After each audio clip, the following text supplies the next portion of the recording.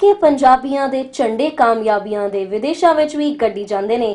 ਸਤਿ ਸ਼੍ਰੀ ਅਕਾਲ ਜੀ। ਬਹੁਤ ਬਹੁਤ ਸਵਾਗਤ ਹੈ ਇੱਕ ਮੁਲਾਕਾਤ ਦੇ ਇੱਕ ਨਵੇਂ ਐਪੀਸੋਡ ਦੇ ਵਿੱਚ। ਜਿਸ ਤਰ੍ਹਾਂ ਮੈਂ ਤੁਹਾਨੂੰ ਦੱਸ ਰਹੀ ਸੀ ਕਿ ਸਦਕੇ ਪੰਜਾਬੀਆਂ ਦੇ ਚੰਡੇ ਕਾਮਯਾਬੀਆਂ ਦੇ। ਜੀ ਹਾਂ, ਸਾਡੇ ਅਮਰੀਕਾ ਦੇ ਵਿੱਚ ਤੁਸੀਂ ਸਾਰੇ ਜਾਣਦੇ ਹੋ ਕਿ ਪੰਜਾਬੀਆਂ ਦਾ ਪੂਰਾ ਬੋਲਬਾਲਾ ਹੈ। ਖੇਤਰ ਚਾਹੇ ਕੋਈ ਵੀ ਹੋਵੇ, ਗੱਲ ਚਾਹੇ ਲਾਅ ਦੀ ਕਰੀਏ, ਚਾਹੇ ਬਿਜ਼ਨਸ ਦੀ। ਪੰਜਾਬੀਆਂ ਨੇ ਆਪਣੀ ਮਿਹਨਤ ਸਦਕੇ ਹਰ ਖੇਤਰ ਦੇ ਵਿੱਚ ਮੱਲਾਂ ਮਾਰੀਆਂ ਨੇ। ਸੋ ਜਿਸ ਮਹਿਮਾਨ ਦੇ ਨਾਲ ਅੱਜ ਮੈਂ ਤੁਹਾਨੂੰ ਮੁਲਾਕਾਤ ਕਰਾਂ ਜਾ ਰਹੀ ਹਾਂ ਉਹ ਨਾ ਤੁਸੀਂ ਪਹਿਲਾਂ ਵੀ ਸੁਣਿਆ ਹੋਇਆ ਹੈ। ਤੁਸੀਂ ਉਹਨਾਂ ਨਾਲ ਪਹਿਲਾਂ ਵੀ ਮੁਲਾਕਾਤ ਕਰ ਚੁੱਕੇ ਹੋ। ਜੀ ਹਾਂ ਮੈਂ ਗੱਲ ਕਰ ਰਹੀ ਹਾਂ ਅਟਾਰਨੀ ਗੁਰਪਤਵੰਤ ਪੰਨੂ ਜੀ ਦੇ ਨਾਲ ਤੇ ਆਓ ਉਹਨਾਂ ਨਾਲ ਕਰਦੇ ਖਾਸ ਮੁਲਾਕਾਤ ਵੇਖਦੇ ਹਾਂ ਕਿ ਅੱਜ ਸਾਡੇ ਨਾਲ ਆਪਣੇ ਵਿਚਾਰ ਸਾਂਝੇ ਕਰਨਾ ਚਾਹੁੰਦੇ ਨੇ। ਬਹੁਤ ਬਹੁਤ ਸਵਾਗਤ ਹੈ ਤੁਹਾਡਾ। ਤੁਹਾਨੂੰ ਵੀ ਭੈਣ ਜੀ ਤੇ ਚੜ੍ਹਦੀ ਕਲਾ ਵੇਖਣ ਵਾਲੇ ਸਾਰੇ ਭੈਣਾਂ ਤੇ ਭਰਾਵਾਂ ਨੂੰ ਵਾਹਿਗੁਰੂ ਜੀ ਕਾ ਖਾਲਸਾ ਵਾਹਿਗੁਰੂ ਜੀ ਕੀ ਫਤਿਹ।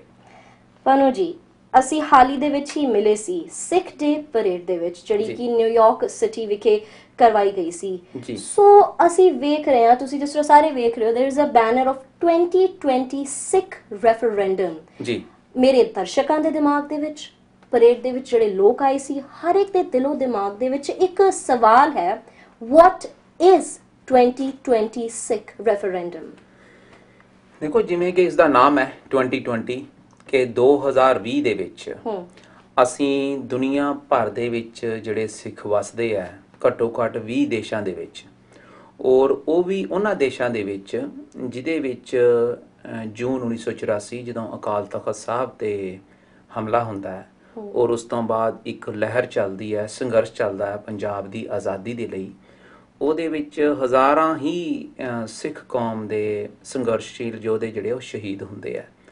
ਔਰ ਉਹ ਜਿਹੜੀ ਟਾਰਚਰ ਹੈ ਉਹ ਜਿਹੜਾ ਉਹਨਾਂ ਤੇ ਤਸੀਹੇ ਦਿੱਤੇ ਗਏ ਹੈ ਸਿੱਖ ਹੋਣ ਦੇ ਨਾਤੇ ਉਹਨਾਂ ਤੇ ਉਹ ਬਾਹਰਲੇ ਦੇਸ਼ਾਂ ਨੇ ਚਾਹੇ ਕੈਨੇਡਾ ਚਾਹੇ ਅਮਰੀਕਾ ਹੈ, ਜਾਂ ਯੂਰੋਪੀਅਨ ਯੂਨੀਅਨ ਹੈ ਉਹਨਾਂ ਨੇ ਇਸ ਗੱਲ ਨੂੰ ਮੰਨਿਆ ਤੇ ਉਹਨਾਂ ਨੂੰ ਇੱਥੇ ਬਾਹਰ ਰਹਿਣ ਦੀ ਇਜਾਜ਼ਤ ਦਿੱਤੀ। ਔਰ ਅੱਜ ਸਾਰੇ ਉਹ ਭੈਣ ਭਰਾ ਬਾਹਰ ਦੇ ਜਿਹੜੇ ਹੈ ਸਿਟੀਜ਼ਨਸ ਹੈ ਬਾਹਰ ਦੇ ਵਸਨੀਕ ਹੈ। the refugee visas that we are talking about over ਜੀ. ਬਿਲਕੁਲ ਰਾਜਨੀਤਿਕ ਸ਼ਰਨ ਮਿਲੀ ਹੈ ਉਹਨਾਂ ਨੂੰ। ਔਰ ਸ਼ਰਨ ਦਾ ਕਾਰਨ ਹੀ ਇਹ ਹੈ ਕਿ ਉਹਨਾਂ ਦੇ ਉੱਤੇ ਪੰਜਾਬ ਦੇ ਵਿੱਚ ਤਸ਼ੱਦਦ ਹੋਇਆ ਮਨੁੱਖੀ ਅਧਿਕਾਰਾਂ ਦੀ ਉਲੰਘਣਾ ਹੋਈ ਹੈ ਤੇ ਉਹਨਾਂ ਨੂੰ ਇਹ ਸਭ ਕੁਝ ਸਿੱਖ ਹੋਣ ਦੇ ਨਾਤੇ ਚੱਲਣਾ ਪਿਆ ਸੋ ਅਸੀਂ 2020 ਤੱਕ ਇੱਕ ਜਨਤਕ ਲਹਿਰ ਜਿਹੜੀ ਹੈ ਉਹਨਾਂ ਭੈਣ ਭਰਾਵਾਂ ਤੱਕ ਔਰ ਉਹਨਾਂ ਦੇਸ਼ਾਂ ਤੱਕ ਲੈ ਕੇ ਜਾਣ ਦੀ ਕੋਸ਼ਿਸ਼ ਕਰ ਰਹੇ ਹਾਂ। ਪਰ ਪਨੂ ਜੀ ਜਿਹੜੀ ਤੁਸੀਂ ਗੱਲ ਕਰ ਰਹੇ ਹੋ ਉਹ ਬਹੁਤ ਸਾਲ ਪਹਿਲਾਂ ਦੀ ਗੱਲ ਹੈਗੀ। It happened many many years ago so ਅੱਜ ਕੱਲ ਤਾਂ ਕਿੱਥੇ ਮੈਨੂੰ discrimination I don't know we don't at least see it openly ਜੀ। ਸੋ ਕੀ ਲੋੜ ਹੈਗੀ ਹੈ 2020 ਸਿੱਖ ਰੈਫਰੈਂਡਮ ਦੀ? ਦੇਖੋ ਡਿਸਕ੍ਰਿਮੀਨੇਸ਼ਨ ਤੇ ਜੇ ਆਪਾਂ ਗੱਲ ਕਰੀਏ ਤੇ ਡਿਸਕ੍ਰਿਮੀਨੇਸ਼ਨ ਜਿਹੜੀ ਹੈ ਉਹ ਬਿਲਕੁਲ ਓਪਨ ਹੈ। ਈਵਨ ਕਿ ਭਾਰਤ ਦਾ ਸੰਵਿਧਾਨ ਜਿਹੜਾ ਹੈ ਉਹਦੇ ਵਿੱਚ ਸ਼ਰੇਆਮ ਡਿਸਕ੍ਰਿਮੀਨੇਸ਼ਨ ਹੈ ਕਿ ਭਾਰਤੀ ਸੰਵਿਧਾਨ ਦਾ ਜਿਹੜਾ ਆਰਟੀਕਲ 25 ਹੈ ਹੂੰ। ਜੋ ਕਿ 26 ਜਨਵਰੀ 1950 ਨੂੰ ਹੋਂਦ ਵਿੱਚ ਆਉਂਦਾ ਹੈ ਉਹਦੇ ਵਿੱਚ ਸਿੱਖ ਧਰਮ ਨੂੰ ਹਿੰਦੂ ਧਰਮ ਦਾ ਹਿੱਸਾ ਦੱਸਿਆ ਜਾਂਦਾ ਹੈ। ਜਦੋਂ ਆਪਣੇ ਭੈਣ ਭਰਾ ਜਿਹੜੇ ਕਿ ਭਾਰਤ ਵਿੱਚ ਵੱਸਦੇ ਆ ਜਦੋਂ ਉਹ ਆਪਣਾ ਵਿਆਹ ਕਰਾਉਂਦੇ ਆ ਮੈਂ ਤੁਹਾਨੂੰ ਉਹ ਗੱਲਾਂ ਦੱਸ ਰਿਹਾ ਜਿਹੜੀਆਂ ਕਿ ਤੁਸੀਂ ਡੇਲੀ ਰੁਟੀਨ ਦੇ ਵਿੱਚ ਉਹਨਾਂ ਨਾਲ ਰਿਲੇਟ ਕਰ ਸਕਦੇ ਜੀ। ਹੋ ਵਿਆਹ ਜਿਹੜਾ ਹੁੰਦਾ ਉਹ ਹਿੰਦੂ ਮੈਰਿਜ ਐਕਟ ਦੇ ਥੱਲੇ ਰਜਿਸਟਰ ਕੀਤਾ ਜਾਂਦਾ। ਜੇ ਤੁਹਾਡੀ ਆਪਣੀ ਜ਼ਮੀਨ ਜਾਇਦਾਦ ਹੈ ਉੱਥੇ ਤੇ ਤੁਸੀਂ ਆਪਣੀ ਪੁਰਖਾਂ ਦੀ ਜ਼ਮੀਨ ਲੈਣੀ ਹੈ ਤੇ ਤੁਹਾਨੂੰ ਹਿੰਦੂ ਸਕਸੈਸ਼ਨ ਐਕਟ ਦੇ ਹੇਠਾਂ ਉਹ ਜ਼ਮੀਨ ਮਿਲਦੀ ਹੈ। ਤੁਹਾਨੂੰ ਕਹਿਣਾ ਪੈਂਦਾ ਹੈ ਕਿ ਮੈਂ ਹਿੰਦੂ ਹਾਂ ਤਾਂ ਤੁਸੀਂ ਜ਼ਮੀਨ ਜਿਹੜੀ ਆ ਉਹ ਟ੍ਰਾਂਸਫਰ ਕਰ ਸਕਦੇ ਹੂੰ। ਜਿਹੜੀ ਡਿਸਕ੍ਰਿਮੀਨੇਸ਼ਨ ਹੈ ਉਹ ਇੰਨੀ ਓਪਨ ਤੇ ਬੋਲਡ ਹੈ ਕਿ ਇਤਿਹਾਸ ਦੇ ਵਿੱਚ ਤੁਸੀਂ ਲੈ ਲਓ 1947 ਤੋਂ ਲੈ ਕੇ ਅੱਜ ਤੱਕ ਇੱਕ ਪਾਸੇ ਪੰਜਾਬ ਹੈ ਜਿਹੜਾ ਕਿ ਪੂਰੇ 80% ਭਾਰਤ ਨੂੰ ਜਿਹੜਾ ਹੈ ਉਹ ਐਗਰੀਕਲਚਰ ਪ੍ਰੋਡਿਊਸ ਦਿੰਦਾ ਹੈ। ਲੇਕਿਨ ਤੁਸੀਂ ਉਸੇ ਉਸੇ ਪੰਜਾਬ ਦੇ ਜਿਹੜੇ ਵਾਸੀ ਹੈ ਜਿਹੜੇ ਪ੍ਰੋਡਿਊਸ ਦਿੰਦੇ ਆ ਉਹਨਾਂ ਦੀ ਜੇ ਤੁਸੀਂ ਸੁਸਾਈਡ ਦੀ ਰੇਸ਼ੋ ਦੇਖੋ ਤੇ ਪੂਰੇ ਭਾਰਤ ਦੇ ਨਾਲੋਂ 88% ਜਾਂ 90% ਜ਼ਿਆਦਾ ਹੈ। ਜੀ ਕਿਉਂ ਜ਼ਿਆਦਾ? ਸੋ ਇਹਦੇ ਪਿੱਛੇ ਬੜਾ ਵੱਡਾ ਇਤਿਹਾਸ ਹੈ। ਸੋ ਡਿਸਕ੍ਰਿਮੀਨੇਸ਼ਨ ਕਿਉਂਕਿ ਮੀਡੀਆ ਉਹਨਾਂ ਦਾ ਕਾਨੂੰਨ ਉਹਨਾਂ ਦਾ ਹਰ ਚੀਜ਼ ਉਹਨਾਂ ਦੀ ਹੈ। ਚੀਜ਼ ਉੱਥੇ ਉਹੀ ਵਿਖਾਈ ਜਾਂਦੀ ਹੈ ਜਾਂ ਦੁਨੀਆ ਭਰ 'ਚ ਦਿਖਾਈ ਜਾਂਦੀ ਹੈ ਜੋ ਉਹ ਚਾਹੁੰਦੇ ਆ। ਸੋ ਪਨੂ ਜੀ ਅਹ, ਠੀਕ ਹੈ ਮੈਂ ਸਮਝਦੀ ਹਾਂ ਤੁਹਾਡੀ ਗੱਲ ਸ਼ਾਇਦ ਕੁਝ ਇਸ਼ੂਜ਼ ਹੋਣਗੇ ਜੋ ਭਾਰਤ ਦੇ ਵਿੱਚ ਹੋ ਰਹੇ ਨੇ। ਪਰ ਤੁਸੀਂ ਅਮਰੀਕਾ ਵਿੱਚ ਬੈਠ ਕੇ ਜੇ ਰੋਜ਼ ਮੁਜ਼ਾਹਰਾ ਕਰ ਰਹੇ ਹੋ ਤੁਹਾਨੂੰ ਲੱਗਦਾ ਹੈ ਕਿ ਥੋੜੀ ਆਵਾਜ਼ ਭਾਰਤ ਸਰਕਾਰ ਤੱਕ ਪਹੁੰਚਦੀ ਹੈ? ਨਹੀਂ ਅਸੀਂ ਰੋਸ ਮਜ਼ਾਰਿਆਂ ਦੇ ਵਿੱਚ ਵਿਸ਼ਵਾਸ ਨਹੀਂ ਰੱਖਦੇ। ਕਈ ਵਾਰੀ ਅਸੀਂ- ਸਿਕਸ ਫॉर ਜਸਟਿਸ ਵੱਲੋਂ ਰੋਜ਼ ਮੁਜ਼ਾਹਰੇ ਦਾ ਕਹਿਣ ਦਾ ਭਾਵ ਕੀ ਜੇਕਰ ਤੁਸੀਂ ਆਪਣੀ ਗੱਲ ਵੀ ਕਨਵੇ ਕਰ ਰਹੇ ਹੋ ਜਿਸ ਤਰ੍ਹਾਂ ਕਿ ਸਿੱਖ। ਦੇ ਪਰੇਡ ਜਿੱਥੇ ਇੰਨੀ ਆਵਾਮ ਹੈਗੀ ਹੈ ਇੰਨੇ ਲੋਕ ਹੈਗੇ ਨੇ ਜੀ। ਤੁਸੀਂ ਉਹਨਾਂ ਦੇ ਸਾਹਮਣੇ ਆਪਣੀ ਗੱਲ ਰੱਖ ਰਹੇ ਹੋ। ਜੀ। ਉਹ ਤਾਂ ਕੋਈ ਮਦਦ ਨਹੀਂ ਕਰ ਸਕਦੇ ਬਟ ਇਹ ਜਿਹੜਾ ਤੁਹਾਡਾ ਸੁਣਿਆ ਹੈ ਉਹ ਸਰਕਾਰ ਤੱਕ ਕੀ ਪਹੁੰਚਦਾ ਹੈ? ਬਿਲਕੁਲ ਪਹੁੰਚੇਗਾ ਜੀ ਬਿਲਕੁਲ ਪਹੁੰਚਦਾ ਔਰ ਪਹੁੰਚੇਗਾ। ਹੂੰ। ਕਿਉਂਕਿ ਜਿਹੜਾ ਵੀ 6 ਫਾਰ ਜਸਟਿਸ ਅਸੀਂ ਸਿਰਫ ਆਪਣੀ ਜ਼ਿੰਮੇਵਾਰੀ ਲੈ ਸਕਦੇ ਹਾਂ ਹੂੰ। ਕਿ ਅਸੀਂ ਰੋਸ ਮੁਜ਼ਾਹਰਿਆਂ ਦੇ ਵਿੱਚ ਜਾਂ ਅਸੀਂ ਇੰਡੀਆ ਦੇ ਖਿਲਾਫ ਕੋਈ ਮੁਹਿੰਮ ਚਲਾਉਣ 'ਚ ਨਾ ਅਸੀਂ ਚਲਾਉਂਦੇ ਆ ਨਾ ਅਸੀਂ ਵਿਸ਼ਵਾਸ ਰੱਖਦੇ ਹੂੰ।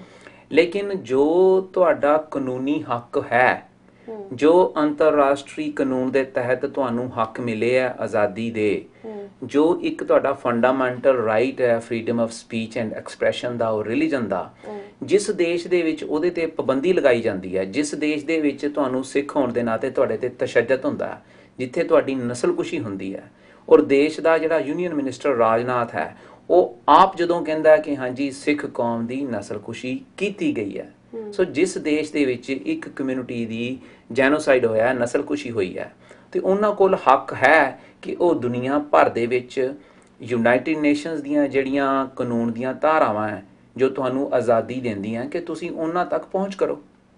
ਇਹੀ ਪਹੁੰਚ ਜਿਹੜੀ ਹੈ ਅਸੀਂ ਨਿਊਯਾਰਕ ਦੇ ਵਿੱਚ ਜਦੋਂ ਸਿੱਖ ਕਲਚਰਲ ਸੁਸਾਇਟੀ ਨੇ ਇੱਕ ਬਹੁਤ ਵੱਡੀ ਜਿਹੜੀ ਹੈ ਪਰੇਡ ਕਰਾਉਂਦੇ ਆ ਸਿੱਖ ਡੇ ਪਰੇਡ ਜੀ ਪਿਛਲੇ ਸਮੇਂ ਤੋਂ ਕਰਵਾਉਂਦੇ ਆ ਰਹੇ ਆ। ਉਹਦੇ ਵਿੱਚ ਅਸੀਂ ਸਿੱਖ ਰੈਫਰੈਂਡਮ ਕੈਂਪੇਨ ਜਿਹੜੀ ਹੈ ਉਹ ਜਨਤਕ ਕੀਤੀ। ਔਰ ਉਹਦਾ ਸਹਿਯੋਗ ਜਿਹੜਾ ਹੈ ਉਹ ਹਜ਼ਾਰਾਂ ਦੀ ਤਾਦਾਦ 'ਚ ਸੰਗਤ ਨੇ ਆਪਣਾ ਜਿਹੜਾ ਹੈ ਸਹਿਯੋਗ ਉਹਦੇ ਵਿੱਚ ਸਾਨੂੰ ਦਿੱਤਾ ਸੋ ਓਵਰਆਲ ਜਦ ਤੁਸੀਂ ਉੱਥੇ ਗਏ ਤੁਸੀਂ ਆਪਣਾ ਕੈਂਪੇਨ ਪ੍ਰੈਜ਼ੈਂਟ ਕੀਤਾ ਲੋਕਾਂ ਦੇ ਸਾਹਮਣੇ। ਉਸ ਤੋਂ ਬਾਅਦ ਲੋਕਾਂ ਦੇ ਕੀ ਵਿਚਾਰ ਸੀ ਕੋਈ ਤੁਹਾਡੇ ਕੋਲ ਕੋਈ ਈਮੇਲਸ ਜਾਂ ਕੋਈ ਫੀਡਬੈਕ ਲੋਕਾਂ ਦੀ ਆਈ ਪੰਜਾਬੀਆਂ ਦੀ ਸਿੱਖਾਂ ਦੀ ਸੈਂਕੜੇ ਦੀ ਤਾਦਾਦ 'ਚ ਸੈਂਕੜਿਆਂ। ਦੀ ਤਾਦਾਦ 'ਚ ਕਿਉਂਕਿ ਤੁਹਾਡੇ ਚੜ੍ਹਦੀ ਕਲਾ ਦੇ ਮਾਧਿਅਮ ਰਾਹੀਂ ਪੂਰੇ ਭਾਰਤ ਦੇ ਵਿੱਚ ਇਹ ਜਿਹੜੀ ਇੱਕ ਲਹਿਰ ਹੈ ਕਾਨੂੰਨੀ ਲਹਿਰ ਕਿ ਸਿੱਖ ਕੌਮ ਦਾ ਆਪਣਾ ਹੱਕ ਹੈ ਆਜ਼ਾਦੀ ਦਾ ਧਰਮ ਦੇ ਬੇਸ ਤੇ ਆਪਣੀ ਬੋਲੀ ਦੇ ਬੇਸ ਤੇ ਔਰ ਜੋ ਕਾਨੂੰਨ ਤੁਹਾਡੇ ਹੱਕ ਦੇ ਵਿੱਚ ਹੈ। ਕਿਉਂਕਿ ਇਸੇ ਕਾਨੂੰਨ ਦੇ ਥੱਲੇ ਯੂਨਾਈਟਿਡ ਨੇਸ਼ਨਸ ਦੀ ਜਿਹੜੀ ਧਾਰਾ ਹੈ ਸਿਵਲ ਐਂਡ ਪੋਲੀਟੀਕਲ ਰਾਈਟਸ ਇਹਦੇ ਥੱਲੇ ਹੀ ਭਾਰਤ ਨੇ ਆਪਣੀ ਯੂਕੇ ਕੋਲੋਂ ਇੰਗਲੈਂਡ ਕੋਲੋਂ ਆਜ਼ਾਦੀ ਜਿਹੜੀ ਹੈ 1947 ਵਿੱਚ ਲਈ ਸੀ। ਸੋ ਉਸੇ ਧਾਰਾ ਨੂੰ ਜਿਹੜਾ ਹੈ ਅਸੀਂ ਫਾਲੋ ਕਰਨਾ ਚਾਹੁੰਦੇ ਹਾਂ। ਔਰ ਸਾਰੇ ਦੁਨੀਆ ਭਰ ਦੇ ਵਿੱਚ ਦੇਸ਼ਾਂ ਦੇ ਵਿੱਚ ਔਰ ਉਹਨਾਂ ਦੇਸ਼ਾਂ ਦੀ ਗਵਰਨਮੈਂਟਸ ਨੂੰ ਔਰ ਯੂਐਨ ਤੱਕ ਅਸੀਂ 2020 ਤੱਕ 2020 ਤੱਕ। ਅਸੀਂ ਉਹਨਾਂ ਕੋਲ ਅਪਰੋਚ ਕਰਾਂਗੇ ਕਿ ਸਾਡਾ ਜਿਹੜਾ ਹੱਕ ਹੈ ਕਾਨੂੰਨੀ ਤੌਰ ਤੇ ਭਾਰਤ ਦੇ ਵਸਦੇ ਸਿੱਖਾਂ ਦਾ ਉਹ ਦਵਾਇਆ ਜਾਏ। ਬਟ ਪਨੂ ਜੀ ਇੱਕ ਸਵਾਲ ਹੈ ਸਿਰਫ ਮੇਰੇ ਦਿਲ ਦੇ ਵਿੱਚ। ਠੀਕ ਹੈ ਤੁਸੀਂ ਪੂਰੀ ਮੁਸ਼ਕਲ ਕਰ ਰਹੇ ਹੋ ਇਸ ਰੈਫਰੈਂਡਮ ਦੇ ਲਈ। ਬਟ ਇਸ ਟਾਈਮ ਕਈ ਹੋਰ ਮਸਲੇ ਹੈਗੇ ਨੇ ਜਿਨ੍ਹਾਂ ਨੂੰ ਐਡਰੈਸ ਕਰਨ ਦੀ ਬਹੁਤ ਜ਼ਿਆਦਾ ਲੋੜ ਹੈ। ਪੰਜਾਬ ਦੇ ਵਿੱਚ।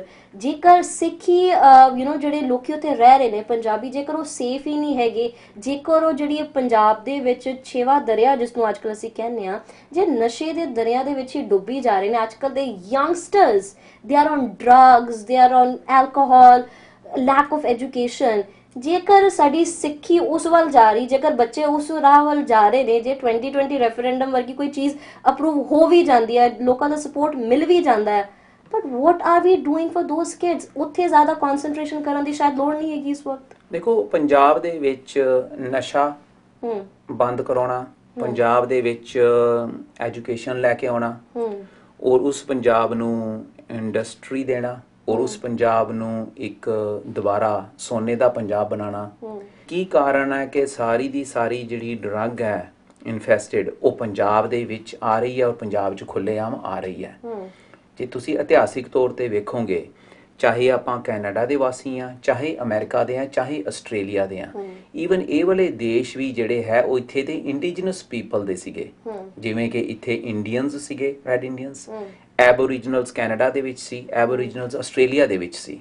ਲੇਕਿਨ ਜਦੋਂ ਬਾਹਰ ਦੇ ਲੋਕ ਉਹਦੇ ਤੇ ਕਾਬਜ ਹੁੰਦੇ ਆ ਤੇ ਪਹਿਲਾਂ ਉਹਨਾਂ ਦੀ ਨਸਲਕੁਸ਼ੀ ਕੀਤੀ ਜਾਂਦੀ ਆ ਇਹ ਫਰਸਟ ਸਟੈਪ ਹੁੰਦਾ। ਹੈ। ਪਹਿਲਾਂ ਉਹਨਾਂ ਦੇ ਜਿਹੜੇ ਹੱਕ ਹੈਗੇ ਆ ਮਨੁੱਖੀ ਅਧਿਕਾਰਾਂ ਦੀ ਉਲੰਘਣਾ ਕਰਕੇ ਹੱਕ ਮਾਰੇ ਜਾਂਦੇ ਆ। ਹੂੰ। ਇੱਕ ਪੂਰੀ ਜਨਰੇਸ਼ਨ ਵਾਈਪ ਆਊਟ ਕਰ ਦਿੱਤੀ ਜਾਂਦੀ ਹੈ ਦੂਜੀ ਜਨਰੇਸ਼ਨ ਦੇ ਵਿੱਚ ਜਿਵੇਂ ਸਿੱਖ ਕੌਮ ਹੈ ਉਹਦੇ ਤੇ ਇੰਨਾ ਕੁ ਡਰ ਪਾ ਦਿੱਤਾ ਜਾਂਦਾ ਹੈ ਕਿ ਕੋਈ ਆਜ਼ਾਦੀ ਦੀ ਔਰ ਆਪਣੇ ਹੱਕ ਦੀ ਗੱਲ ਹੀ ਨਾ ਕਰੇ। ਹੂੰ। ਉਹਨਾਂ ਨੂੰ ਨਸ਼ਿਆਂ ਦੇ ਦਰਿਆ ਦੇ ਵਿੱਚ ਰੋੜ ਦਿੱਤਾ ਜਾਂਦਾ। ਹੈ ਅਮਰੀਕਾ ਜਿਹੜਾ ਹੈ ਦੀ ਪ੍ਰਾਈਮ ਐਗਜ਼ਾਮਪਲ ਹੈ ਕਿ ਇੱਥੇ ਫੈਡਰਲ ਸਟੇਟ ਬਣੀਆਂ ਕਿ ਤੁਸੀਂ ਜਿਹੜੇ ਰੈੱਡ ਇੰਡੀਅਨਸ ਜਿਹਨੂੰ ਅਮਰੀਕਨਸ ਕਹਿੰਦੇ ਆ ਆਪਾਂ ਜੀ। ਉਹ ਉਹਨਾਂ ਸਟੇਟਾਂ ਦੇ ਵਿੱਚ ਰਹਿੰਦੇ ਆ ਔਰ ਨਸ਼ਾ ਜਿਹੜਾ ਹੈ ਉੱਥੇ ਟੈਕਸ ਐਗਜ਼ੈਂਪਟ ਹੈ। ਜਿਹੜੇ ਨਸ਼ੇ ਦਾ ਦੌਰ ਚੱਲਦਾ ਪਿਆ ਹੈ ਇਹ ਇੱਕ ਸਿਸਟਮੈਟਿਕ ਤਰੀਕੇ ਨਾਲ ਸਿੱਖ ਕੌਮ ਕਹਿਣ ਨੂੰ ਦਾ ਭਾਵ ਹੈ ਕਿ ਕੀ ਸਰਕਾਰ ਖੁਦ ਹੀ ਨਸ਼ੇ ਕਰਵਾ ਰਹੀ ਹੈ? What are you trying to say ਜਾਂ ਜੇ ਸਰਕਾਰ ਦੁਸ਼ਮਣ ਨੂੰ ਆਪਣੀਆਂ ਹੱਦਾਂ ਤੋਂ ਆਉਣ ਨੂੰ ਰੋਕ ਸਕਦੀ ਹੈ। ਹਥਿਆਰਾਂ ਨੂੰ ਰੋਕ ਸਕਦੀ ਹੈ ਹੂੰ। ਤੇ ਫਿਰ ਉਹ ਪੰਜਾਬ ਦੇ ਵਿੱਚ ਡਰੱਗ ਕਿੱਦਾਂ ਆਉਣ ਦਿੰਦੀ ਹੈ ਉਹਨੂੰ ਕਿਉਂ ਨਹੀਂ ਰੋਕ ਸਕਦੀ? ਰੋਜ਼ ਦੇਖਦੇ ਹਾਂ ਘੁਸਪੈਠ ਵਾਲੇ ਜਿਹੜੇ ਅੱਤਵਾਦੀ ਉਹਨਾਂ ਨੂੰ ਮਾਰ ਦਿੱਤਾ ਜਾਂਦਾ ਹੈ। ਤੇ ਫਿਰ ਪਿਛਲੇ 7 ਜਾਂ 8 ਸਾਲ ਤੋਂ ਇੰਨਾ ਨਸ਼ਾ ਕੱਲਾ ਪੰਜਾਬ ਦੇ ਵਿੱਚ ਕਿਉਂ ਆਉਂਦਾ ਸੋ ਇਹ ਗੱਲਾਂ ਜਿਹੜੀਆਂ ਹੈਗੀਆਂ ਇਹ ਇਤਿਹਾਸਿਕ ਤੌਰ ਤੇ ਸਮਝਣ ਵਾਲੀਆਂ। ਜਿਹੜੀ ਕੌਮ ਹੈ ਜਿਸ ਜਿਸ ਕੌਮ ਨੂੰ ਵੀ ਤੁਸੀਂ ਗੁਲਾਮ ਬਣਾ ਕੇ ਰੱਖਣਾ ਹੈ ਜਿਸ ਕੌਮ ਤੇ ਵੀ ਉੱਤੇ ਤੁਸੀਂ ਤਸ਼ੱਦਦ ਕਰਨਾ ਹੈ ਉਹਦੇ ਫੇਜ਼ਸ ਹੈ। ਜੇ ਇਸ ਫੇਜ਼ ਚੋਂ ਆਪਾਂ ਅੱਜ ਬਾਹਰ ਨਹੀਂ ਆਵਾਂਗੇ ਤੇ ਪੰਜਾਬ ਦੇ ਵਿੱਚ ਜਿਵੇਂ ਤੁਸੀਂ ਦੱਸ ਰਹੇ ਹੋ ਵਾਕਿਆ ਹੀ ਕੋਈ ਨਾ ਕੋਈ ਪੜ੍ਹਾਈ ਹੋਏਗੀ ਨਾ ਕੋਈ ਪੜਿਆ ਲਿਖਿਆ ਹੋਏਗਾ ਤੇ ਨਾ ਕੋਈ ਆਜ਼ਾਦ ਹੋਏਗਾ। ਅਸੀਂ ਗੱਲ ਕਰ ਰਹੇ ਹਾਂ 2020 ਸਿੱਖ ਰੈਫਰੈਂਡਮ ਦੇ ਬਾਰੇ। ਜੀ। ਜਦ ਵੀ ਅਸੀਂ ਕੁਝ ਇਹੋ ਜਿਹਾ ਕੈਂਪੇਨ ਸ਼ੁਰੂ ਕਰਦੀ ਕੋਈ ਵੀ ਆਰਗੇਨਾਈਜੇਸ਼ਨ। ਤੇ ਉਹਦੇ ਵਿੱਚ ਲਾਅ ਦਾ ਹੋਣਾ ਬਹੁਤ ਜ਼ਰੂਰੀ ਹੈ ਜਿਹੜਾ ਇੱਕ ਪ੍ਰੋਪਰ ਸਟੈਪ ਜਿਹੜਾ ਇੱਕ ਪ੍ਰੋਪਰ ਪ੍ਰੋਸੈਸ ਹੋਣਾ ਬਹੁਤ ਜ਼ਰੂਰੀ ਹੈ। ਸੋ ਇਸ ਦਿਸ official is this legal? You being an attorney ਤੁਸੀਂ ਖੁਦ ਇੱਕ ਇੰਨੇ ਸਾਲ ਪੁਰਾਣੇ ਵਕੀਲ ਹੋ। ਸੋ ਜੇਕਰ ਕਾਨੂੰਨ ਦੀ ਗੱਲ ਕੀਤੀ ਜਾਵੇ ਤਾਂ ਜੀ। ਇਹੋ ਜਿਹੇ ਕੈਂਪੇਨਸ ਦੇ ਵਿੱਚ ਕਾਨੂੰਨ ਕੀ ਬੋਲਦਾ ਦੇਖੋ ਯੂਐਨ ਦੀ ਜਿਹੜੀ ਫਰਸਟ ਆਰਟੀਕਲ ਹੈ ਹੂੰ। ਹਿਊਮਨ ਰਾਈਟਸ ਦੀ ਡਿਕਲੇਰੇਸ਼ਨ ਦਾ ਯੂਐਨ ਦਾ ਉਹਦਾ ਫਰਸਟ ਆਰਟੀਕਲ ਕਹਿੰਦਾ ਹੈ all people have a right to self determination ਵੀ ਹਰ ਇੱਕ ਇਨਸਾਨ ਦਾ ਖੁਦ ਮੁਖਤਿਆਰੀ ਦਾ ਹੱਕ ਹੂੰ। ਇਹੀ ਡੈਕਲੇਰੇਸ਼ਨ ਜਿਹੜੀ ਹੈਗੀ ਆ ਉਹਨੂੰ ਇਹਨਾਂ ਨੇ ਟਰਾਂਸਲੇਟ ਕੀਤਾ ਹੈ। ਯੂਐਨ ਦੀ ਇੱਕ ਕਵਨੈਂਟ ਹੈ ਇੱਕ ਕਨਵੈਨਸ਼ਨ ਹੈ ਜਿਹੜੀ ਸਿਵਲ ਐਂਡ ਪੋਲੀਟੀਕਲ ਰਾਈਟਸ ਦੀ ਹੈ। ਹੂੰ। ਜਿਹਦੇ ਵਿੱਚ ਕਿਹਾ ਜਾਂਦਾ ਵੀ ਜੇ ਤੁਹਾਡੀ ਬੋਲੀ ਅਲੱਗ ਹੈ ਜੇ ਤੁਹਾਡਾ ਧਰਮ ਅਲੱਗ ਹੈ ਜੇ ਤੁਹਾਡਾ ਸੱਭਿਆਚਾਰ ਅਲੱਗ ਹੈ ਤੇ ਤੁਸੀਂ ਆਪਣੇ ਇੱਕ ਅਲੱਗ ਦੇਸ਼ ਦੀ ਮੰਗ ਕਰ ਸਕਦੇ ਹੋ। ਤੇ ਜਿਹੜਾ ਪੰਜਾਬ ਹੈ ਜਾਂ ਜਿਹੜੀ ਸਿੱਖ ਕੌਮ ਹੈ ਉਹਦਾ ਤਾਂ ਇਤਿਹਾਸ ਹੈ ਕਿ ਜਦੋਂ ਵੀ ਭਾਰਤ ਦੇ ਉੱਤੇ ਚਾਹੇ ਉਦੋਂ ਕਬਜ਼ਾ ਜਿਹੜਾ ਹੈ ਇੰਗਲੈਂਡ ਨੇ ਕੀਤਾ। ਜੀ ਅਸੀਂ ਇੱਥੇ ਬੈਠ ਤੁਸੀਂ ਲੋਕ ਇੱਥੇ ਬੈਠੇ ਕੁਝ ਲੋਕੀ ਜਿਹੜੇ ਆਪਣੇ ਹੱਕ ਦੇ ਲਈ ਲੜ ਰਹੇ ਹੋ ਤੇ ਇੰਡੀਆ ਦੇ ਵਿੱਚ ਤਾਂ ਕਿੰਨੇ ਸਿੱਖ ਤੇ ਕਿੰਨੇ ਪੰਜਾਬੀ ਨੇ? ਉਹ ਕਿਉਂ ਨਹੀਂ ਆਵਾਜ਼ ਉਠਾਉਂਦੇ ਸਮੇਂ-ਸਮੇਂ ਤੇ? ਬਿਲਕੁਲ ਚੁੱਕੀ ਹੈ ਭੈਣ ਜੀ ਉਹਨਾਂ ਨੇ। ਅੱਛਾ। 1984 ਤੋਂ ਲੈ ਕੇ ਮੈਂ ਤੁਹਾਨੂੰ ਦੱਸਾਂ ਫਿਰ ਕੋਈ ਸੁਣਵਾਈ ਨਹੀਂ ਹੈਗੀ? ਨਹੀਂ ਉਹਦੇ ਚ ਆਵਾਜ਼ ਦੇਖੋ ਨਾ ਪਹਿਲਾਂ। 84 ਚ ਜਦੋਂ ਅਕਾਲ ਤਖਤ ਸਾਹਿਬ ਢੇਰੀ ਕੀਤਾ ਜਾਂਦਾ ਹੈ। ਔਰ ਗੁਰੂ ਰਾਮਦਾਸ ਸਾਹਿਬ ਦਾ ਸਰੋਵਰ ਹੈ ਜਿਹੜਾ ਉਹ ਸਿੱਖ ਕੌਮ ਦੇ ਖੂਨ ਨਾਲ ਭਰਿਆ ਜਾਂਦਾ ਹੈ। ਤੇ 84 ਤੋਂ ਲੈ ਕੇ 98 ਤੱਕ ਸਿੱਖ ਕੌਮ ਨੇ ਇੱਕ ਸੰਘਰਸ਼ ਲੜਿਆ ਪੂਰਾ। ਆਪਣੇ ਭੈਣਾ ਭਰਾਵਾਂ ਨੇ ਆਪਣੀ ਜਾਨ ਦਿੱਤੀ ਹੈ ਉਹਨਾਂ ਨੇ ਕੌਮ ਦੀ ਆਜ਼ਾਦੀ ਲਈ। ਲੇਕਿਨ ਜਦੋਂ ਤੁਸੀਂ ਇੱਕ ਜਨਰੇਸ਼ਨ ਜਿਹੜੀ ਹੈ ਉਹਨੂੰ ਤਸੀਹੇ ਦੇ ਕੇ ਤਸ਼ੱਦਦ ਕਰਕੇ ਫੇਕ ਐਨਕਾਊਂਟਰ ਕਰਕੇ ਝੂਠੇ ਪੁਲਿਸ ਮੁਕਾਬਲੇ ਕਰਕੇ ਉਹਨਾਂ ਨੂੰ ਤੁਸੀਂ ਖਤਮ ਕਰ ਦਿੰਦੇ ਹੋ। ਤੁਸੀਂ ਉਸ ਜਗ੍ਹਾ ਨੂੰ ਸ਼ਮਸ਼ਾਨ ਬਣਾ ਦਿੰਦੇ ਹੋ। ਤੇ ਲੜਾਈ ਜਿਹੜੀ ਲੜਨੀ ਹੈ ਉਹ ਸ਼ਹੀਦਾਂ ਦਾ ਕੰਮ ਨਹੀਂ ਹੈ ਜਿਹੜੇ ਰਹਿ ਜਾਂਦੇ ਉਹਨਾਂ ਦਾ ਕੰਮ ਹੈ। ਹੁਣ ਜਦੋਂ 1998 ਤੋਂ ਬਾਅਦ ਕੌਮ ਚਾਹੇ ਅਮਰੀਕਾ 'ਚ ਬੈਠੀ ਹੈ ਜਾਂ ਕੈਨੇਡਾ ਦੇ ਵਿੱਚ ਬੈਠੀ ਹੈ ਤੁਸੀਂ ਸਿੱਖ ਡੇ ਪਰੇਡ ਦੇ ਵਿੱਚ ਆਪ ਮੈਂ ਤੁਹਾਨੂੰ ਦੇਖਿਆ ਤੁਸੀਂ ਉੱਥੇ ਸੀ। ਹੁਣ 1 ਲੱਖ ਤੋਂ ਵੱਧ ਜਿਹੜੇ ਹੈ ਉਹਦੇ 'ਚ ਸਿੱਖ ਡੇ ਪਰੇਡ ਦੇ ਵਿੱਚ ਸ਼ਮੂਲੀਅਤ ਕਰਦੀ ਹੈ ਸਿੱਖ ਕੌਮ। ਔਰ ਮੈਜੋਰਟੀ ਜਿਹੜੀ ਯੰਗ ਜਨਰੇਸ਼ਨ ਹੈਗੀ ਕਹਿੰਦੇ ਨੇ ਕਿ ਜਿਹੜੀ ਸਾਡੀ ਨੌਜਵਾਨ ਪੀੜ੍ਹੀ ਹੈ ਉਹ। ਕਿਸੇ ਵੀ ਦੇਸ਼ ਦਾ ਭਵਿੱਖ ਹੁੰਦੀ ਹੈ। ਚਾਹੇ ਅਮਰੀਕਾ ਦੀ ਗੱਲ ਕੀਤੀ ਜਾਵੇ ਚਾਹੇ ਭਾਰਤ ਦੀ ਗੱਲ ਕੀਤੀ ਜਾਵੇ youngsters are not into it ਉਹਨਾਂ ਨੂੰ ਸਾਰਾ ਕੁਝ ਲੱਗਦਾ ਯੂ نو ਅਮਰੀਕਾ ਦੇ ਵਿੱਚ ਬੈਠੇ ਨੇ ਐਜੂਕੇਸ਼ਨ ਲੈ ਰਹੇ ਨੇ। Why would youngsters ever think of supporting such campaign ਕਿਉਂ ਉਹ ਸਪੋਰਟ ਕਰਨ? ਭੈਣ ਜੀ ਉਹਦਾ ਇਦਾਂ ਵੀ ਚਾਹੇ ਤੁਸੀਂ ਕੰਪੇਨ ਲੈ ਲਓ ਰੈਫਰੈਂਡਮ ਦੀ ਚਾਹੇ ਤੁਸੀਂ ਆਪਣੇ ਬੱਚੇ ਨੂੰ ਬਣਾਉਣਾ ਹੋਵੇ ਡਾਕਟਰ ਜਾਂ ਇੰਜੀਨੀਅਰ ਪਹਿਲਾਂ ਤੁਹਾਨੂੰ ਉਹਨਾਂ ਨੂੰ 12 ਜਮਾਤਾਂ ਹਾਈ ਸਕੂਲ ਕਰਾਉਣਾ ਪੈਂਦਾ। ਫਿਰ ਉਹਨਾਂ ਨੂੰ ਟ੍ਰੇਨਿੰਗ ਦੇਣੀ ਪੈਂਦੀ ਹੈ। ਫਿਰ ਮੈਡੀਕਲ ਕਾਲਜ 'ਚ ਐਡਮਿਸ਼ਨ ਕਰਾਈਦੀ ਹੈ। ਫਿਰ ਅੱਗੇ ਟੈਸਟ ਹੁੰਦਾ ਤਾਂ ਡਾਕਟਰ ਬਣਦਾ। Same thing runs with the campaigns for the human rights ਚਾਹੇ ਉਹ ਮਨੁੱਖੀ ਅਧਿਕਾਰਾਂ ਦੀ ਉਲੰਘਣਾ ਦੇ ਖਿਲਾਫ ਕੰਪੇਨ ਹੈ। ਚਾਹੇ ਦੇਸ਼ ਬਣਾਉਣ ਦੀ ਕਾਨੂੰਨ ਦੇ ਦਾਇਰੇ ਵਿੱਚ ਕੰਪੇਨ ਹੂੰ। ਜਿਹੜਾ ਯੰਗਸਟਰ ਹੈ ਉਹਨਾਂ ਨੇ ਹੀ ਇੱਕ ਦਿਨ ਜਿਹੜਾ ਹੈ ਯੂਨਾਈਟਿਡ ਨੇਸ਼ਨਸ ਤੱਕ ਪਹੁੰਚ ਕਰਕੇ ਜਿਹੜਾ ਹੈ ਉਹ ਪੰਜਾਬ ਦੇ ਵਿੱਚ ਆਜ਼ਾਦੀ ਦੀ ਤੇ ਰੈਫਰੈਂਡਮ ਦੀ ਗੱਲ ਕਰਨੀ ਹੈ। ਉਹਨਾਂ ਦੇ ਉੱਤੇ ਵਰਕ ਕੀਤਾ ਜਾ ਰਿਹਾ ਚਲੋ ਠੀਕ ਹੈ 2020 ਰੈਫਰੈਂਡਮ ਬਿਕਮਸ ਅ ਸਕਸੈਸ ਜੀ। ਤੇ ਫਿਰ ਤੁਸੀਂ ਪੰਜਾਬੀਆਂ ਦੇ ਲਈ ਸਿੱਖਾਂ ਦੇ ਲਈ ਕੀ ਕਰੋਗੇ? ਦੇਖੋ ਜਦੋਂ ਪਹਿਲਾਂ ਬਣਦਾ ਮੁਲਕ ਹੂੰ। ਫੇਰ ਬਣਦਾ ਉਹਦਾ ਸੰਵਿਧਾਨ ਹੂੰ। ਤੇ ਫਿਰ ਉਹਦੇ ਚ ਆਉਂਦੀ ਹੈ ਖੁਸ਼ਹਾਲੀ। ਬਟ ਇੱਕ reverse- ਪ੍ਰੋਜੈਕਸ਼ਨ ਤੇ ਹੋਏਗੀ ਨਾ ਕਿਉਂਕਿ ਜਦ ਵੀ ਅਸੀਂ ਕੋਈ ਛੋਟਾ ਜਿਹਾ ਬਿਜ਼ਨਸ ਵੀ ਪਲਾਨ ਕਰਦੇ ਜੀ। Uh, we already you know have a business plan a SWOT analysis ROI ਕਿ। ਸਾਡੀ ਕੀ ਇਸ ਤੋਂ ਬਾਅਦ ਸਾਨੂੰ ਫਾਇਦਾ ਨੁਕਸਾਨ ਕੀ ਹੋਣ ਵਾਲਾ ਹੈ ਕੀ ਸਾਡਾ ਪਲਾਨ ਕੀ ਹੈਗਾ ਬਿਲਕੁਲ ਪਲਾਨ ਉਹਦੇ ਚ ਇਹ ਹੈ ਕਿ ਜਿਹੜੀ ਗੱਲ ਤੁਸੀਂ ਪਹਿਲਾਂ ਪੁੱਛੀ ਸੀ। ਕਿ ਪੰਜਾਬ ਦੇ ਵਿੱਚ ਕੋਈ ਵੀ ਭੈਣ ਭਰਾ ਇੱਕ ਦਿਨ ਵੀ ਭੁੱਖਾ ਨਹੀਂ ਸੋਏਗਾ ਇੱਕ ਦਿਨ ਵੀ ਉੱਥੇ ਨਸ਼ਾ ਨਹੀਂ ਵਿਕੇਗਾ ਔਰ ਇੱਕ ਦਿਨ ਵੀ ਕਿਸੇ ਨੂੰ ਇਹ ਮਾਂ ਜਾਂ ਪਿਓ ਨੂੰ ਡਰ ਨਹੀਂ ਲੱਗੇਗਾ ਕਿ ਮੇਰਾ ਮੁੰਡਾ ਜੇ ਬਾਹਰ ਗਿਆ ਹੈ ਤੇ ਉਸ ਤੇ ਤਸ਼ੱਦਦ ਹੋਏਗਾ ਜਾਂ ਉਸ ਨੂੰ ਪੁਲਿਸ ਜਿਹੜੀ ਹੈ ਝੂਠੇ ਪੁਲਿਸ ਮੁਕਾਬਲੇ 'ਚ ਮਾਰ ਦਿੱਤੀ ਜਾਏਗੀ। ਕੱਲੇ ਸਿੱਖ ਕੌਮ ਵਾਸਤੇ ਨਹੀਂ ਹਰ ਪੰਜਾਬੀ ਨੂੰ ਹਰ ਧਰਮ ਦੇ ਬਸ਼ਿੰਦੇ ਨੂੰ ਜਿਹੜਾ ਪੰਜਾਬ 'ਚ ਰਹਿ ਰਿਹਾ ਉਸ ਨੂੰ ਇਹ ਇਹ ਆਜ਼ਾਦੀ ਹੋਏਗੀ। ਕਿਉਂਕਿ ਗੁਰੂ ਨਾਨਕ ਸਾਹਿਬ ਦਾ ਜਿਹੜਾ ਫਲਸਫਾ ਹੈ ਕਿ ਜਦੋਂ ਵੀ ਕਿਸੇ ਤੇ ਜ਼ੁਲਮ ਹੁੰਦਾ ਹੈ ਤੇ ਤੁਸੀਂ ਆਵਾਜ਼ ਚੁੱਕਣੀ ਹੈ। ਔਰ ਗੁਰੂ ਸਾਹਿਬਾਨ ਨੇ ਜਿਹੜਾ ਖਾਲਸਾ ਸਜਾਇਆ ਹੈ ਉਹ ਤਾਂ ਸਜਿਆ ਹੀ ਜਿਹੜਾ ਹੈ ਬੇਇਨਸਾਫੀ ਦੇ ਖਿਲਾਫ ਆਵਾਜ਼ ਚੁੱਕਣ ਲਈ ਹੈ। ਸੋ ਉੱਥੇ ਜਿਹੜਾ ਰਾਜ ਹੋਏਗਾ ਉਹ ਆਲਰੇਡੀ ਰਾਜ ਸਿੱਖ ਕੌਮ ਨੇ ਪਹਿਲਾਂ ਕੀਤਾ ਜਿਹਦੇ ਵਿੱਚ ਹਰ ਧਰਮ ਨੂੰ ਉਹੀ ਮਾਨਤਾ ਦਿੱਤੀ ਗਈ ਹੈ। ਹਮੇਸ਼ਾ ਹੀ ਖੁਸ਼ਹਾਲੀ ਹੋਈ ਹੈ ਔਰ ਕਿਸੇ ਦੇ ਉੱਤੇ ਵੀ ਕਦੀ ਜਿਹੜਾ ਹੈ ਉਹ ਮਨੁੱਖੀ ਅਧਿਕਾਰਾਂ ਦੀ ਉਲੰਘਣਾ ਨਹੀਂ ਹੋਈਆਂ। ਸੋ ਇਹੀ ਆਜ਼ਾਦੀ ਇਹੀ ਖੁਸ਼ਹਾਲੀ ਔਰ ਇਹੀ ਜਿਹੜੀ ਆਵਾਜ਼ ਹੈ ਉਹ ਆਜ਼ਾਦ ਪੰਜਾਬ ਦੇ ਵਿੱਚ ਹੋਏਗੀ। ਜੀ। ਸੋ ਪਨੂ ਜੀ ਜਿਸ ਤਰ੍ਹਾਂ ਅਸੀਂ ਇਸ ਸ਼ੋਅ ਤੋਂ ਪਹਿਲਾਂ ਗੱਲਬਾਤ ਕਰ ਰਹੇ ਸੀ ਕਿ ਕੈਨੇਡਾ ਦੇ ਵਿੱਚ ਜਿਹੜਾ ਨਗਰ ਕੀਰਤਨ ਹੋ ਰਿਹਾ ਹੈ ਜੇਕਰ ਕੈਨੇਡਾ ਦੀ ਗੱਲ ਕਰੀਏ ਤਾਂ ਉਸ ਨੂੰ ਜੇਕਰ ਅਸੀਂ ਯੂ نو ਪੰਜਾਬ ਕਹੀਏ ਵਿਦੇਸ਼ੀ ਪੰਜਾਬ ਕਹੀਏ ਤੇ ਮੈਨੂੰ ਨਹੀਂ ਲੱਗਦਾ ਉਹਦੇ ਵਿੱਚ ਕੋਈ ਸ਼ੱਕ ਵਾਲੀ ਗੱਲ ਹੈਗੀ ਕਿਉਂਕਿ ਉੱਥੇ ਬਹੁਤ ਵੱਡੀ ਗਿਣਤੀ ਵਿੱਚ ਪੰਜਾਬੀ ਭਾਈਚਾਰਾ ਵਸਦਾ ਹੈ। ਸੋ ਕੀ ਪਲਾਨ ਹੈਗਾ ਕੈਨੇਡਾ ਦੇ ਨਗਰ ਕੀਰਤਨ ਦੇ ਵਿੱਚ? ਤੁਸੀਂ ਉੱਥੇ ਪਲਾਨ ਆਊਟ ਕਰ ਰਹੇ ਹੋ ਕਿ ਤੁਸੀਂ ਉੱਥੇ ਜਾ ਕੇ ਆਪਣੇ ਇਸ ਕੈਂਪੇਨ ਨੂੰ ਅੱਗੇ ਵਧਾਓਗੇ ਲੋਕਾਂ ਤੱਕ ਆਪਣੀ ਆਵਾਜ਼ ਆਪਣਾ ਸੁਨੇਹਾ ਪਹੁੰਚਾਓਗੇ? So what is the plan for ਮੇਕਰਡ ਸੀ 3 ਮਈ ਨੂੰ ਆਉਣ ਵਾਲੇ ਐਤਵਾਰ ਨੂੰ ਗੁਰਦੁਆਰਾ ਸਾਹਿਬਾਨ ਮਾਲਟਨ ਵਿੱਚ ਗੁਰਦੁਆਰਾ ਸਾਹਿਬ ਤੋਂ। ਗੁਰਦੁਆਰਾ ਰੈਕਸਡੇਲ ਸਾਹਿਬ ਤੱਕ ਇੱਕ 316ਵੇਂ ਖਾਲਸਾ ਦੇ ਸਿਰਜਣਾ ਦਿਵਸ ਨੂੰ ਸਮਰਪਿਤ ਨਗਰ ਕੀਰਤਨ ਸਜਾਏ ਜਾ ਰਹੇ ਹੈ। ਔਰ ਉਹਦੇ ਵਿੱਚ ਘੱਟੋ ਘੱਟ 1.5 ਲੱਖ ਤੋਂ ਵੱਧ ਜਿਹੜੀ ਸਿੱਖ ਸੰਗਤ ਜਿਹੜੀ ਹੈ ਉਹ ਸ਼ਮੂਲੀਅਤ ਕਰਦੀ ਹੈ। ਸੋ ਅਸੀਂ ਜਿਹੜੀ ਆਪਣੀ ਸਿੱਖ ਰੈਫਰੈਂਡਮ 2020 ਦੀ ਮੁਹਿੰਮ ਹੈ ਜਨਤਕ ਮੁਹਿੰਮ ਉਸ ਦਾ ਆਗਾਜ਼ ਅਸੀਂ ਗੁਰਦੁਆਰਾ ਸਾਹਿਬ ਮਾਲਟਨ ਚੋਂ ਅਰਦਾਸ ਕਰਕੇ ਸ਼ੁਰੂ ਕਰਾਂਗੇ। ਔਰ ਫਿਰ ਜਿਹੜੀਆਂ ਕੈਨੇਡਾ ਦੀਆਂ ਦੂਸਰੀਆਂ ਸਟੇਟਾਂ ਹੈ, ਇਹ ਅੰਟਾਰੀਓ ਹੈ, ਟੋਰਾਂਟੋ ਦੇ ਵਿੱਚ, ਫਿਰ ਇਸੇ ਤਰ੍ਹਾਂ ਅਸੀਂ ਬ੍ਰਿਟਿਸ਼ ਕੋਲੰਬੀਆ ਦੇ ਵਿੱਚ ਔਰ ਦੂਸਰੀਆਂ ਸਟੇਟਾਂ ਦੇ ਵਿੱਚ ਜਿਹੜੀ ਇਹ ਪੂਰੀ ਲਹਿਰ ਜਿਹੜੀ ਹੈ, ਸਿੱਖ ਕੌਮ ਦੇ ਸਾਹਮਣੇ ਅਸੀਂ ਲੈ ਕੇ ਜਾਵਾਂਗੇ। ਜੀ, so Pannu ji everything is happening under the organisation ਜਿਹੜੀ ਥੋੜੀ ਸੰਸਥਾ ਹੈ 6 for justice Sikhs for justice ਦੇਖੋ ਇੱਕ ਮਨੁੱਖੀ ਅਧਿਕਾਰ ਸੰਸਥਾ ਹੈ। ਇਹ ਉਹਨਾਂ ਦਾ ਕਿੰਨਾ ਕੁ ਰੋਲ ਹੈਗਾ ਥੋੜੇ ਇਸ ਨਵੇਂ ਕੈਂਪੇਨ ਦੇ ਵਿੱਚ ਦੇਖੋ ਸ਼ੁਰੂਆਤ ਜਿਹੜੀ ਹੈ ਉਹ ਇਸੇ ਸੰਸਥਾ ਨੇ ਮਨੁੱਖੀ ਅਧਿਕਾਰ ਸੰਸਥਾ ਹੈ ਉਹਨੇ ਹੀ ਸ਼ੁਰੂ ਕੀਤੀ ਹੈ। ਕਿਉਂਕਿ ਜਿਹੜੀ ਵੀ ਕੰਪੇਨ ਹੈ ਉਹਦਾ ਇੱਕ ਲੀਗਲ ਫਰੇਮਵਰਕ ਹੈ ਜਿਵੇਂ ਤੁਸੀਂ ਪੁੱਛਿਆ ਸੀ। ਜੀ। ਜਦੋਂ ਤੁਸੀਂ ਯੂਨਾਈਟਿਡ ਨੇਸ਼ਨਸ ਦੇ ਕੋਲ ਜਾਣਾ ਜਦੋਂ ਤੁਸੀਂ ਦੂਸਰੇ ਦੇਸ਼ਾਂ ਦੇ ਨੁਮਾਇੰਦਿਆਂ ਕੋਲ ਜਾਣਾ। ਤੇ ਤੁਸੀਂ ਕਿਸੇ ਨੂੰ ਰਿਪਰੈਜ਼ੈਂਟ ਕਰਨਾ ਹੈ ਔਰ ਇੱਕ ਕੇਸ ਸਟੱਡੀ ਕਰਨਾ ਸੋ ਅਸੀਂ ਜਿਹੜੀ ਇਹ ਜਿਹੜੀ 2020 ਕੈਂਪੇਨ ਹੈ ਇਹ ਜਨਤਕ ਕੈਂਪੇਨ ਔਰ ਸਮੂਹਿਕ ਸਿੱਖ ਜਥੇਬੰਦੀਆਂ ਦੇ ਸਹਿਯੋਗ ਦੇ ਨਾਲ ਔਰ ਸਮੂਹਿਕ ਗੁਰਦੁਆਰਾ ਸਾਹਿਬਾਨ ਦੀਆਂ ਕਮੇਟੀਆਂ ਦੇ ਨਾਲ ਕੀਤੀ ਜਾ ਰਹੀ ਹੈ। ਸੋ ਇਸ ਵਕਤ ਤੁਹਾਨੂੰ ਕਿੰਨੇ ਕੁ ਗੁਰਦੁਆਰਾ ਸਾਹਿਬ ਜੀ ਦਾ ਜਾਂ ਕਿੰਨੇ ਕੁ ਲੋਕਾਂ ਦਾ ਸਹਿਯੋਗ ਹੈਗਾ ਇਸ ਟਾਈਮ ਰਾਈਟ ਨਾਓ ਬਿਕਾਜ਼ ਤੁਸੀਂ ਅਜੇ ਸ਼ੁਰੂਆਤ ਹੀ ਕੀਤੀ ਹੈ ਜਿਸ ਤਰ੍ਹਾਂ ਤੁਸੀਂ ਕਿਹਾ ਕਿ ਸੈਟਰਡੇ ਨੂੰ ਸਿੱਖ ਡੇ ਪਰੇਡ ਦੇ ਵਿੱਚ ਤੁਸੀਂ ਪਹਿਲੀ ਵਾਰੀ ਇਹਨੂੰ ਪਬਲਿਕਲੀ ਲੈ ਕੇ ਗਏ ਹੋ। ਜੀ। ਸੋ ਜਿਹੜੇ ਇੱਥੋਂ ਦੀ ਕਮੇਟੀਆਂ ਨੇ ਗੁਰਦੁਆਰਾ ਕਮੇਟੀਆਂ ਜਾਂ ਜਿਹੜੇ ਸਿੱਖਾਂ ਨੂੰ ਰਿਪਰੈਜ਼ੈਂਟ ਕਰਦੇ ਨੇ ਉਹਨਾਂ ਦਾ ਕਿੰਨਾ ਕੁ ਯੋਗਦਾਨ ਜਾਂ ਕਿੰਨਾ ਕੁ ਸਹਿਯੋਗ ਹੈਗਾ ਤੁਹਾਡੇ ਇਸ ਕੈਂਪੇਨ ਦੇ ਨਾਲ? ਦੇਖੋ ਹਮੇਸ਼ਾ ਜਿਹੜੀ ਹੈ ਉਹ ਡੈਮੋਕ੍ਰੇਸੀ ਹੈ। That's what we like freedom of speech and expression and VOTING. Absolute so 100 ਦੇ ਪਿੱਛੇ ਤੁਹਾਨੂੰ ਸਿਰਫ 51 ਬੰਦੇ ਜਾਂ ਕੌਮ ਦੀ ਸਪੋਰਟ ਚਾਹੀਦੀ ਹੈ। ਪਰ ਜਿੰਨੇ ਕੁ ਅਸੀਂ ਹੁਣ ਜਾ ਕੇ ਆਏ ਆ ਸਾਡੀ ਸਪੋਰਟ ਜਿਹੜੀ ਉਹ 90% ਤੋਂ ਜ਼ਿਆਦਾ ਹੈ। ਕੁਝ ਆਰਗੇਨਾਈਜੇਸ਼ਨਸ ਜਾਂ ਸੰਸਥਾਵਾਂ ਜਾਂ ਨੁਮਾਇੰਦੇ ਕੁਐਸਚਨ ਜ਼ਰੂਰ ਕਰਦੇ ਆ ਸਾਨੂੰ ਵੀ 2020 ਕੀ ਚੀਜ਼ ਹੈ। ਕਿਵੇਂ ਮਿਲੇਗੀ ਆਜ਼ਾਦੀ? ਕੀ ਸਟੈਪਸ ਹੋਣਗੇ? ਪਰ ਜੋ ਮੈਨੂੰ ਉਮੀਦ ਹੈ ਜਿੰਨੀ ਦੇਰ ਤੱਕ 2 2020 ਆਉਣਾ ਹੈ ਤੇ ਇਹ ਸਪੋਰਟ ਜਿਹੜੀ ਹੈ ਇਹ 100% ਬਣ ਜਾਣੀ ਹੈ। ਪਰ ਹਜੇ ਜਿਹੜੀ ਹੈ ਉਹ ਮੈਜੋਰਟੀ 51 ਹੁੰਦੀ ਹੈ ਸਾਡੇ ਕੋਲ 90% ਤੋਂ ਜ਼ਿਆਦਾ ਇਹਦੇ 'ਚ ਸਪੋਰਟ ਹੈ।